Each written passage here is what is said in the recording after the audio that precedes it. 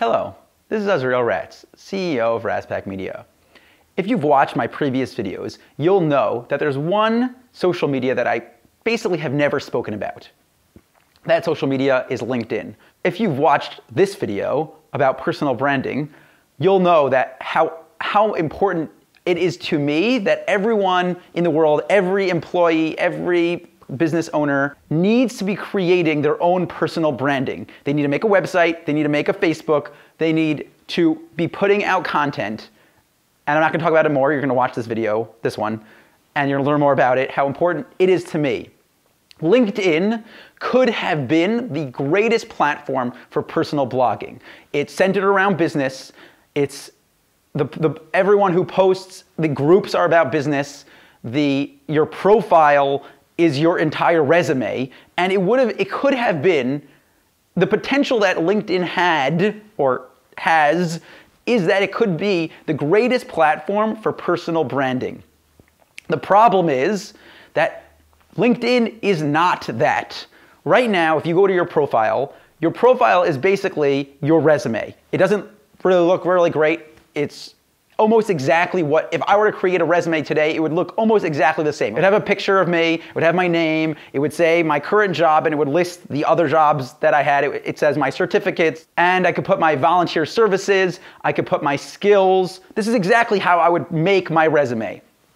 So having a LinkedIn profile is really great if you want a resume, but that's not what it should be. LinkedIn should be your personal brand. It should allow you to put big headline pictures. It should allow you to, uh, you, you can post, but it doesn't show who you are. And that's really what I think LinkedIn is missing. It's, it, doesn't, it doesn't present you as a person, it presents you as a piece of paper on the internet. That's all it really is. In fact, there's a company called Branded, which you can get to branded.me, which will take your LinkedIn profile and create a website, which is the, this idea of building a personal brand, and, and then you could change the header exactly as I just as I would think I would want to do to create a personal brand. That's what it does. It takes the information you already have on LinkedIn and it creates a personal branded website. Why didn't LinkedIn do this? Why is LinkedIn not doing it now. LinkedIn just announced last week they, they had like minus 40%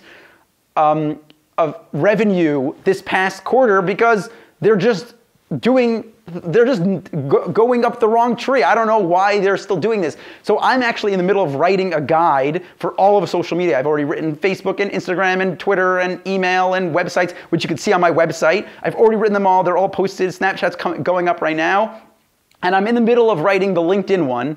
And as I got to, to, to LinkedIn tip number five, I stopped writing because to me, this, this platform is just so, it's, it's so much lower than the potential it could be that it like almost makes me angry that they're, they're doing things wrong. So I know I've heard so many people tell me how much they've gained from LinkedIn and they've gained from the community and have they've gained from the interactions on LinkedIn.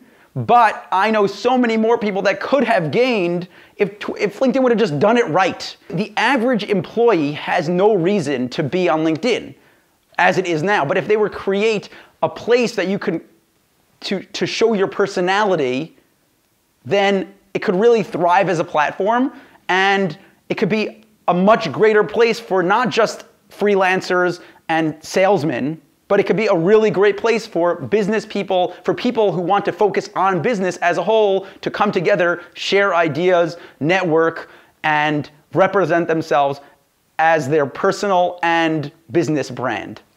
Thank you so much for watching this video. If you totally disagree with me, write in the comments. I want to know what you think about LinkedIn. I want, if you if you like this video, please like it and share it or over here, wherever it moved to. And and I hope that LinkedIn changes what they're doing and that they focus more on the personal branding than they do on the resume. And I hope that you have a great day and thank you so much for watching.